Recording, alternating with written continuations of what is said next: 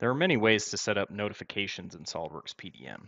One of the most common is to use the workflow and automatic notifications. For example, when changes are requested on a file, I may have certain groups or individuals that will be notified during that transition.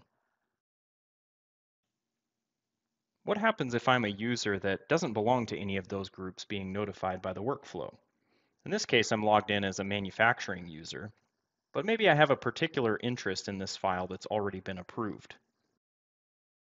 With just a couple of simple steps from the PDM client interface, I can set up my own custom notifications. For example, if this file ever leaves the approved state in the workflow, I can be notified about it. Pretty simple for me to get those notifications now if something is being requested for change. It's also simple to double check the notifications that you've set up on your own via the notification editor. Just go back to your tools menu. You could even remove those notifications at a later date if you're no longer interested.